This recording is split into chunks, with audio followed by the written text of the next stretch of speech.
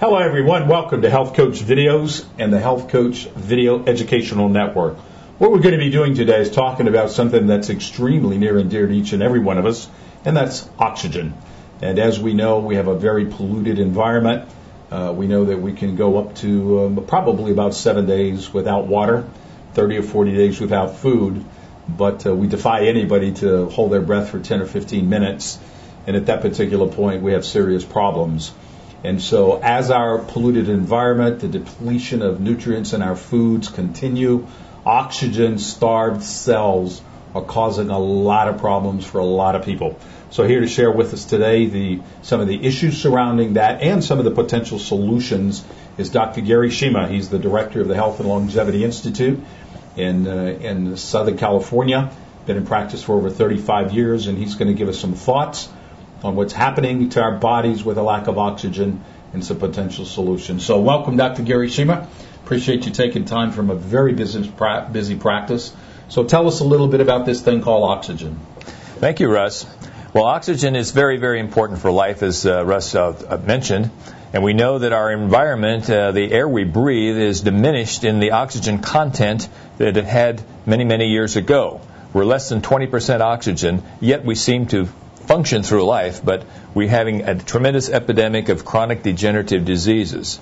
And as we look at research, it tends to show that with lowered oxygen tensions, degenerative diseases tend to flourish. Now, what I'm talking about are things like heart disease, things like arthritis, things like uh, mental problems like dementias, things like allergies. All of these type of diseases are now beginning to be a very, very serious problem in the Western world. So what we want to do is be able to increase our oxygen levels. So how can we do this? Well, we can do this by exercising more, get off of our sedentary living and get out and exercise. We can do so much that way. But we can't really accomplish significant percentage increases of oxygen short of going to breathing oxygen out of a tank or going to a hyperbaric oxygen chamber, which can become very expensive. But now we have the availability to help our oxygen levels within our own bloodstream through a product. And the product I'm talking about is Oxygen Elements Max from Global Health Trax.